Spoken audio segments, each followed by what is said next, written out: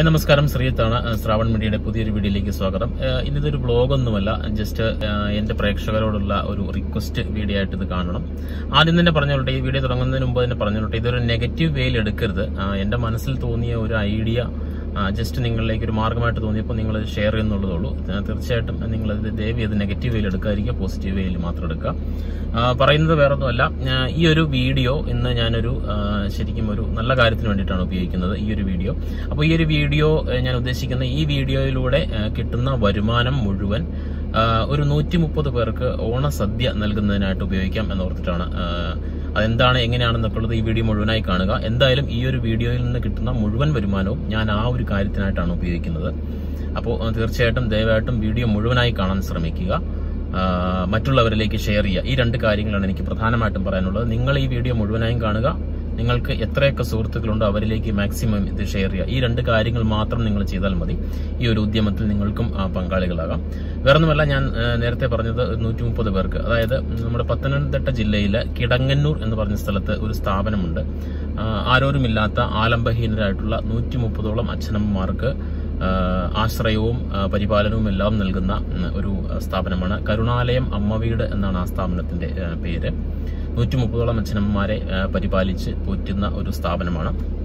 അപ്പോൾ ഈ ഒരു സ്ഥാപനത്തിന് ഞാൻ എന്നാൽ കഴിയുന്ന സഹായങ്ങളൊക്കെ ഇടയ്ക്ക് ചെയ്യാറുണ്ട്. അപ്പോൾ ഈ ഒരു ഓണ സമയമായപ്പോൾ എനിക്ക് തോന്നി എന്റെ പ്രേക്ഷകരെയും ഈ ഒരു സഹായ അവരെ സഹായിക്കുന്നതിൽ പങ്കാളികളാക്കാമെന്ന് തോന്നി. അപ്പോഴാണ് ഇങ്ങനെ ഒരു ഐഡിയ കൊണ്ടുവന്നത്. അതായത് അവിടുത്തെ സാധാരണ എന്ന് പറഞ്ഞു കഴിഞ്ഞാൽ അവിടുത്തെ അവർക്ക് ഭക്ഷണത്തിനായിട്ടുള്ള ഡൊണേഷനാണ് സാധാരണ നമ്മൾ ചെയ്തുകൊണ്ടിരിക്കുന്നത്. അപ്പോൾ അവരുടെ ഒരു നേരത്തെ ആഹാരത്തിന് അതൊരു വെജിറ്റേറിയൻ ആണെങ്കിൽ എണ്ണായിരം രൂപ ചിലവ് വരുന്നതും നോൺ വെജിറ്റേറിയൻ ആണെങ്കിൽ പതിനായിരം രൂപയും അതുപോലെ തന്നെ ഒരു ദിവസത്തേക്കാണെങ്കിൽ പതിനയ്യായിരം രൂപയുമാണ് ചെലവ്. അപ്പോൾ ഈ ഒരു ഓണ സമയത്ത് ഓണസദ്യക്കായിട്ട് വരുന്ന ചെലവ് എന്ന് പറയുന്നത് ഒരു ഒരു ഓണസദ്യക്ക് വരുന്ന ചെലവ് പതിനയ്യായിരം രൂപയാണ് ഈ നൂറ്റി മുപ്പതോളം ആൾക്കാർക്ക്. അപ്പോൾ ഞാൻ ഈ ഒരു വീഡിയോയിലൂടെ ഉദ്ദേശിക്കുന്ന ഈ വീഡിയോയിൽ നിന്ന് കിട്ടുന്ന വരുമാനം മുഴുവൻ നമുക്ക് അവർക്ക് ഒരു ഓണസദ്യ നൽകുന്നതിനായിട്ട് നൽകാം.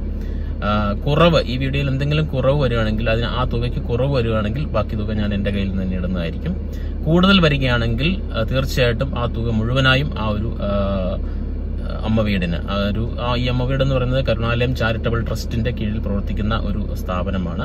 അപ്പോൾ നിങ്ങൾക്ക് ഗൂഗിളിൽ പോയി കഴിഞ്ഞാൽ ഈ ട്രസ്റ്റിനെ പറ്റിയൊക്കെ കൂടുതൽ ഡീറ്റെയിൽസ് അറിയാൻ പറ്റും അവിടുത്തെ ഫോൺ നമ്പറും കാര്യങ്ങളും അറിയാൻ പറ്റും. അതുപോലെ തന്നെ ഈ അവരുടെ സൈറ്റിൽ തന്നെ അവരുടെ അക്കൗണ്ട് നമ്പറും കാര്യങ്ങളുണ്ട്. ഈ വീഡിയോ അല്ലാതെ നിങ്ങൾക്ക് എന്തെങ്കിലും നേരിട്ട് സഹായിക്കണമെന്നുണ്ടെങ്കിൽ തീർച്ചയായിട്ടും നിങ്ങൾക്ക് നേരിട്ടും അവർക്ക് സഹായങ്ങൾ നൽകാവുന്നതാണ്. അവരുടെ അക്കൗണ്ട് നമ്പറും കാര്യങ്ങളൊക്കെ ആ വെബ്സൈറ്റിൽ കൊടുത്തിട്ടുണ്ട്. അപ്പോൾ എന്തായാലും തീർച്ചയായിട്ടും വളരെ നമുക്കറിയാം ഈ ഒരു കോവിഡിന്റെ സമയത്തൊക്കെ ഒരുപാട് സാമ്പത്തിക ബുദ്ധിമുട്ടുകൾ വ്യക്തികൾക്കും സ്ഥാപനങ്ങൾക്കും എല്ലാം ഉണ്ട്. അപ്പോൾ നിങ്ങൾക്കറിയാം നൂറ്റി മുപ്പതോളം അച്ഛനമ്മമാരെ നോക്കുന്ന ആ ഒരു സ്ഥാപനം കൂടി കൂടിയാകുമ്പോൾ അവർക്ക് സാമ്പത്തികമായിട്ട് ഒത്തിരി പ്രയാസങ്ങളൊക്കെ എന്തായാലും ഉണ്ടാകും. അപ്പൊ നമുക്ക് ഈ ഒരു സമയത്ത് ഈ ഒരു സാഹചര്യത്തിൽ നമുക്ക് ചെയ്യാൻ പറ്റുന്ന സഹായങ്ങൾ മാക്സിമം അവർക്ക് ചെയ്യാം. അവരെ സപ്പോർട്ട് ചെയ്യാൻ ശ്രമിക്കാം. നമുക്കറിയാം ഒരു ആലംബഹീനരായിട്ടുള്ള ഒരുപാട് ആൾക്കാരൊക്കെ ഉള്ള സമയമാണിപ്പോൾ. അപ്പോൾ അവരെ നമുക്ക് ചിലപ്പോൾ ഒരാ നമ്മുടെ സാഹചര്യങ്ങൾ കൊണ്ട് ഒരാളെ നോക്കാനോ അല്ലെ രണ്ടുപേരും നമ്മുടെ കൂടെ നിർത്തി നോക്കാനോ നമുക്ക് സാധിച്ചെന്ന് വരില്ല അപ്പൊ അത്രത്തോളം ഇത്രത്തോളം ആൾക്കാരെ ഒരുമിച്ച് നിർത്തി അവർക്ക് വേണ്ട ചികിത്സാ സഹായവും അവർക്ക് വേണ്ട ദൈനംദിന ആവശ്യങ്ങളും ഭക്ഷണവും താമസവും എല്ലാം ചികിത്സ ചെലവും എല്ലാം വഹിക്കുന്ന ഒരു സ്ഥാപനത്തെ നമുക്ക് പിടിച്ചു നിർത്തേണ്ടത് നമ്മുടെ നാടിന്റെ ആവശ്യമാണ് നമ്മുടെ ഒരു കാലത്തിന്റെ ആവശ്യമാണ്. അപ്പൊ ഇതുപോലുള്ള വേറെയും സ്ഥാപനങ്ങളൊക്കെ കാണുമായിരിക്കാം. എന്തായാലും എനിക്കറിയാവുന്ന ഒരു സ്ഥാപനത്തെ പറ്റി നിങ്ങളോട് പറയാനാണ് ഞാൻ ഈ ഒരു വീഡിയോയിൽ വന്നത്. അപ്പോൾ തീർച്ചയായിട്ടും നമുക്ക് ചെയ്യാൻ പറ്റാവുന്ന സഹായങ്ങൾ നേരിട്ട് ചെയ്യുക. അതോടൊപ്പം തന്നെ ഈ ഒരു വീഡിയോ കണ്ട് മറ്റുള്ളവരിലേക്ക് ഷെയർ ചെയ്ത് മാക്സിമം ഇതിനൊരു റീച്ച് എത്തി. അതിനൊരു കിട്ടുന്നൊരു വരുമാനം അതിലേക്ക് കൊടുക്കുക എന്നുള്ളതാണ് ഉദ്ദേശിക്കുന്നത്.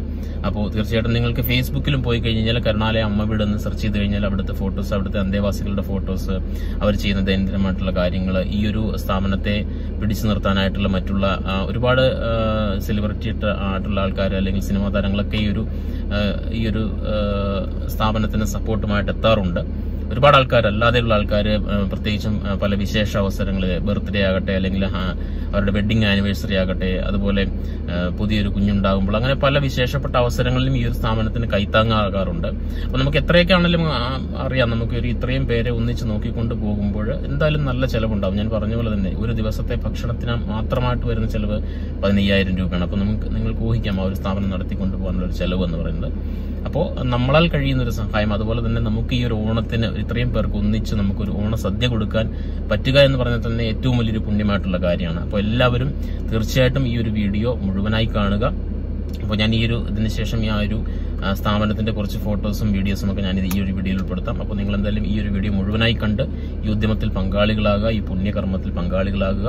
തീർച്ചയായിട്ടും ഇതിനെ ഒരു നെഗറ്റീവ് വെയിൽ എടുക്കാതിരിക്കുക. എന്റെ മനസ്സിൽ തോന്നിയ ആശയം പെട്ടെന്ന് നിങ്ങളിലേക്ക് പകർന്നതെന്നുള്ളതുള്ളൂ നെഗറ്റീവ് വെയിൽ എടുക്കാതിരിക്കുക പോസിറ്റീവ് വെയിലായിട്ട് മാത്രം കാണുക. Okay thank